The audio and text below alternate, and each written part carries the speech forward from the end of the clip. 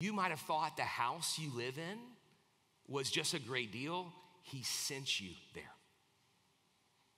Teenagers, you might have thought that the school you go to is just the one you were zoned into or the one your parents helped you decide to go to.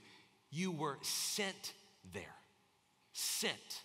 College students, you were sent to the class you will be in first period this semester. You were sent.